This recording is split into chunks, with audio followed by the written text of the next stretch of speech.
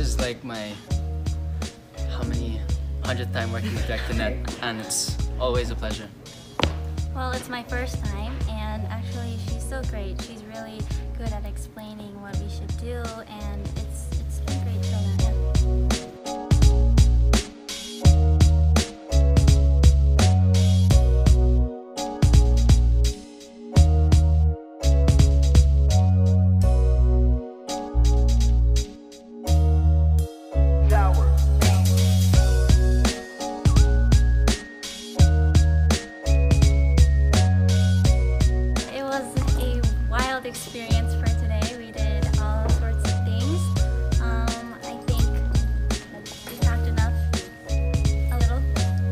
today's just the uh, yeah.